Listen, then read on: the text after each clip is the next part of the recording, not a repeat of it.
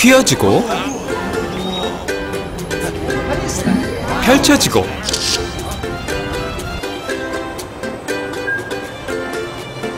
three D에 양방향 통역까지 같이 저녁 먹을래? Oui. 세계가 감탄하는 꿈의 디스플레이 AMOLED 누가 만들지?